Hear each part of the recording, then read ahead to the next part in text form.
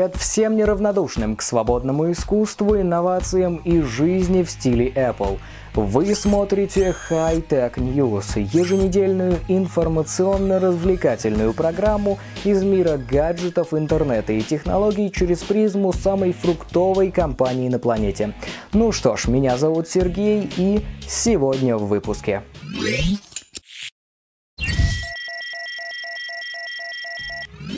Компания Samsung представила новые модели планшетов со сканером отпечатков пальцев.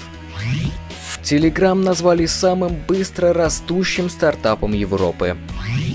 Производство второго поколения планшета iPad Air начнется уже в июле этого года и многое другое. Ну а далее в программе расскажу об одной бесспорно интересной функции операционной системы iOS в рамках рубрики «Секреты яблочных устройств», а следом игре «Непобедимый рыцарь» и программе под названием «Сборная России». Но, пожалуй, на сладкое на этот раз оставлю обзор смартфона Nexus 5. Погнали!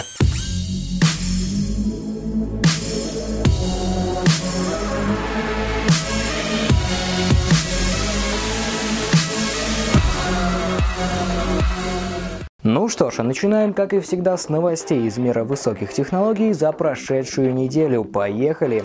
Опередить бы Apple. Компания Samsung представила новые модели планшетов со сканером отпечатков пальцев. В линейке Galaxy Tab S случилось пополнение. Новые Galaxy Tab S 10.5 и Galaxy Tab S 8.4 стали новыми моделями планшетных компьютеров от южнокорейской компании, на этот раз призванных серьезно потеснить небезызвестных лидеров рынка в лице iPad Air и iPad Mini 2. К слову, главной фишкой обоих устройств, безусловно, можно считать пресловутый сканер отпечатков пальцев, работа которого построена по той же самой технологии, что и в смартфоне Galaxy S5, и которого сегодня так не хватает пользователям яблочных планшетов. Дизайн новых продуктов Samsung выполнен в общем стиле с другими моделями линейки Galaxy. Все тот же перфорированный пластик и окантовка корпуса, стилизованная под металл. Характеристики, как можно предположить, не сильно выделяются чем-то из ряда вон выходящим. 3 гигабайта оперативной памяти, дисплей с разрешением 2560 на 1600 пикселей, а также две вариации процессора, четырехъядерный Snapdragon 800 в случае с LTE-версией планшета и фирменный Exynos 5 Octa. Аккумулятор емкостью 7900 мАч, который должен обеспечить до 11 часов автономной работы, также является еще одной бесспорно очень заманчивой фишкой 10,5-дюймового Galaxy Tab S. К слову, работать новые планшеты будут под управлением Android 4.4 KitKat с фирменным интерфейсом Magazine UX, а их владельцы получат возможность бесплатной загрузки целого ряда приложений. Павел Дуров не сдается. Telegram назвали самым быстро растущим стартапом Европы. Всего за несколько месяцев аудитория нового детища Павла Дурова в лице мессенджера Telegram набрала более 35 миллионов пользователей, что позволило ему стать лауреатом премии The Europes. К слову, всего премии получили более 20 компаний. Так, например, лучшим медийным стартапом прошлого года был признан сервис для прослушивания музыки SoundCloud. Напомню, что к осени прошлого года Telegram набрал всего около 100 тысяч активных пользователей, в то время как резкий рост аудитории начался в конце февраля после приобретения Фейсбуком мессенджера WhatsApp. Ну что ж, остается только пожелать Павлу дальнейших успехов и удачи с его мессенджером. Компания Apple готовится к началу производства второго поколения планшета iPad Air.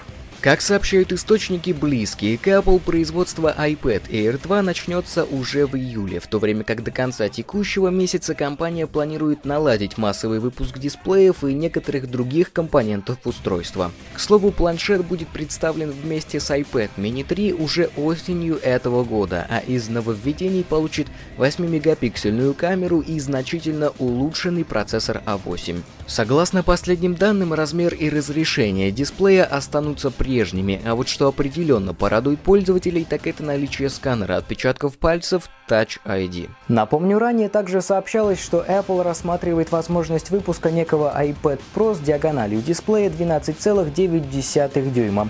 Однако ждать данное устройство в текущем году все-таки не стоит. Ну а о новостях на этом все, так что едем дальше.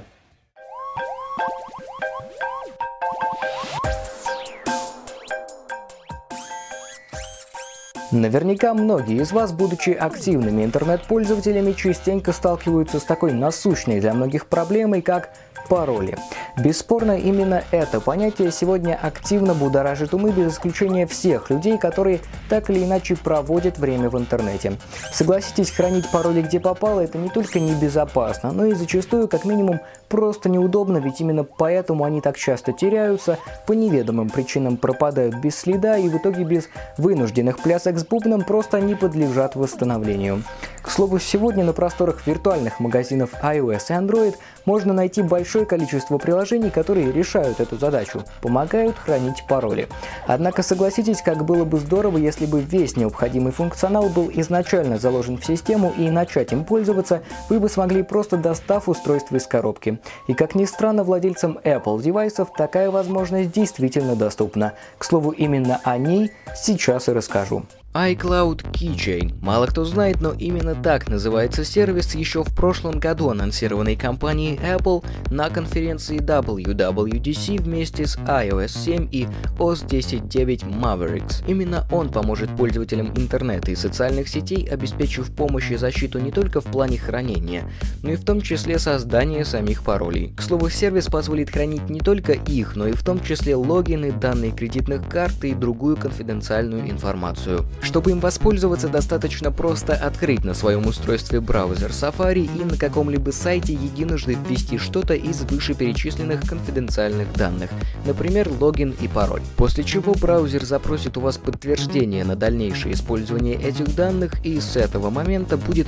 вводить их автоматически. С кредитными картами ситуация ровно та же самая, с одним единственным исключением, а именно кодом, который в целях безопасности пользователь должен будет всегда вводить самостоятельно при совершении покупок. К слову, при регистрации на каком-либо интернет-ресурсе Safari опять же предложит пользователю самостоятельно сгенерировать длинный и надежный пароль, взломать который в дальнейшем будет в принципе невозможно. Ну и под конец, пожалуй, стоит упомянуть и о том, что все сгенерированные или введенные вами данные будут храниться в настройках в пункте браузера Safari во вкладке «Пароли и автозаполнение», а также синхронизироваться между всеми Apple устройствами, объединенными одной учетной записью Apple ID. Сервис заработает на iPhone, iPad или iPod Touch под управлением iOS 7 и выше, а также компьютерах Mac с установленной операционной системой Mavericks. Ну что ж, на этом о секретах яблочных устройств сегодня, пожалуй, все, а вот разговор о мобильных играх, к слову, все еще ждет своего часа, так что давайте не будем тянуть гугла за Ларри Пейджа и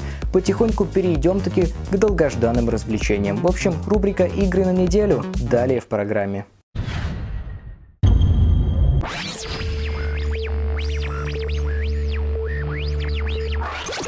Что ж, игру, о которой мне бы сегодня хотелось вам поведать, по правде говоря, едва ли можно назвать каким-то громким тайтлом в мире мобильных игр, сравнить хотя бы с тем же Человеком-пауком.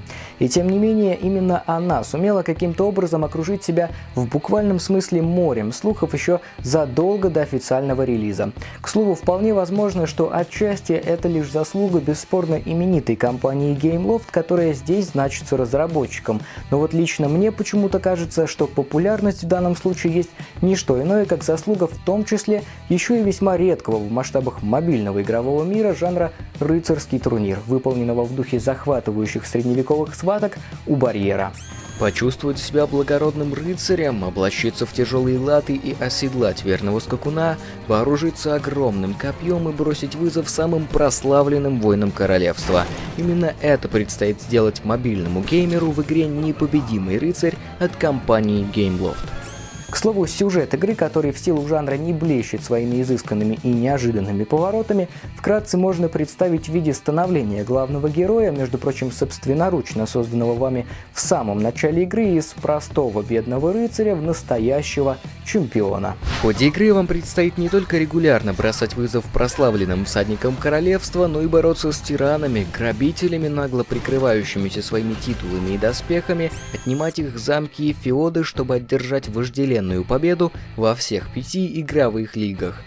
Подводя итог, могу сказать, что благодаря своему простому и в то же время интересному геймплею, реалистичной 3D-графике и, наконец, вполне адекватной фримиум модели, игра действительно затягивает, поэтому рекомендовать ее могу даже тем, кто по большей части предпочитает полноценные крупные проекты. К тому же, игра не стоит ни цента.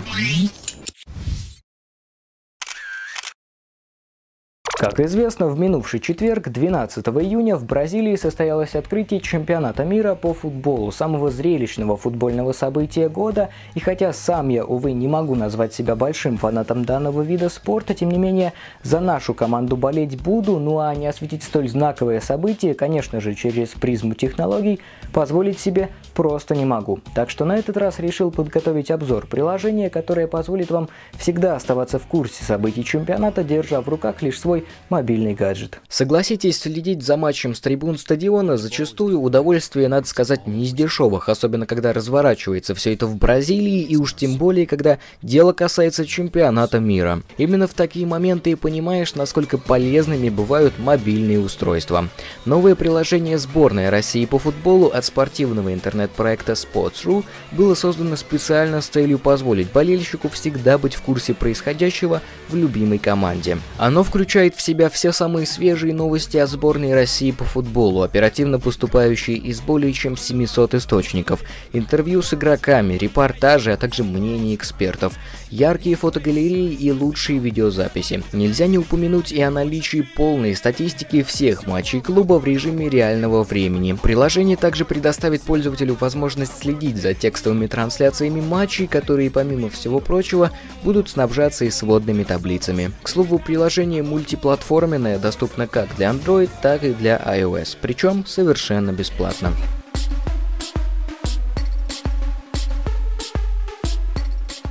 Сегодня поговорим о Nexus 5, самом чистокровном гуглофоне на платформе Android. Данное устройство можно назвать своего рода эталонным смартфоном, этаким айфоном в мире Android. А все потому, что производством этого девайса занимается сама Google в партнерстве с корейской компанией LG. И именно здесь установлен девственно чистый Android, не испорченный сторонними виджетами или лаунчерами, такой, каким его видит сама компания Google. Однако даже не это является главной особенностью и фишкой девайса.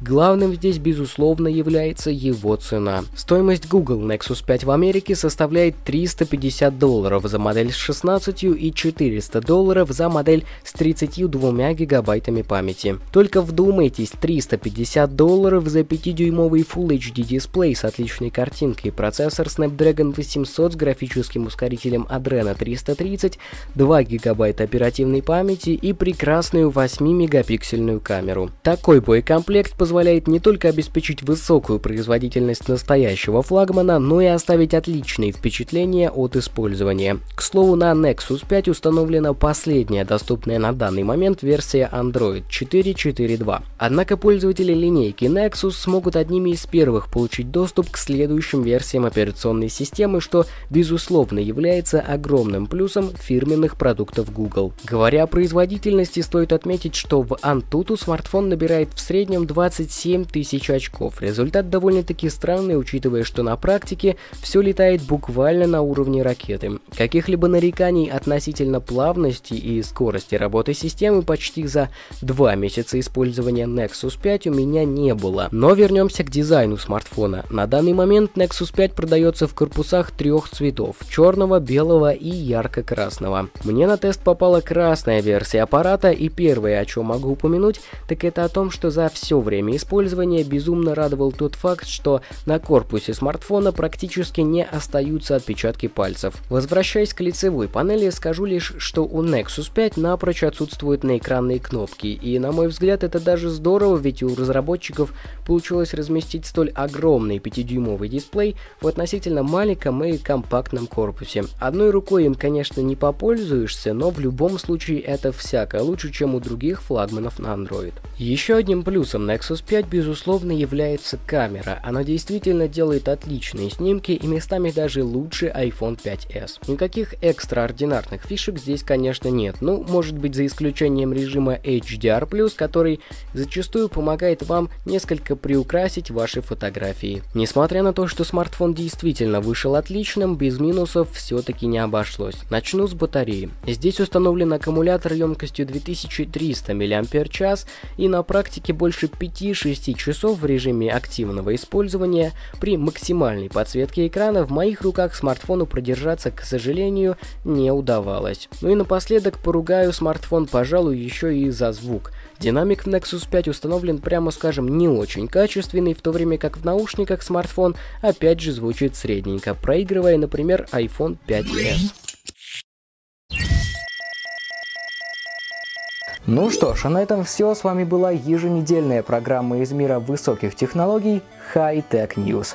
Напомню, зовут меня Сергей, и прежде чем попрощаться, напомню, что свои отзывы, комментарии и пожелания к программе вы можете оставлять на сайте телекомпании «Город». Кстати, именно там вы также сможете проголосовать за данный проект.